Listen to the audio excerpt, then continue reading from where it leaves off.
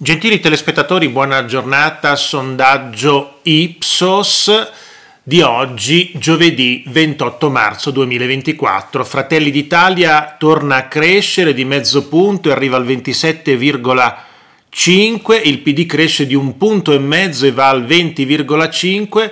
Il Movimento 5 Stelle crolla dell'1,3 al 16,1.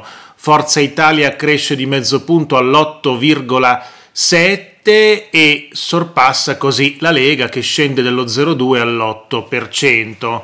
Alleanza Verdi Sinistra scende dello 0,8 al 3,3, Italia Viva il centro 3,3 scende dello 0,1, più Europa cresce dello 0,2 al 2,8, Azione perde mezzo punto al 2,5, Pace, Terra, Dignità 1,5, il partito di Santoro, Italexit per l'Italia 1,5, Democrazia Sovrana Popolare 1,2, noi moderati 0,7, altre liste 2,4, ma quello che fa scalpore è l'astensionismo che cresce addirittura del 3% al 52,5, oltre la metà non votano.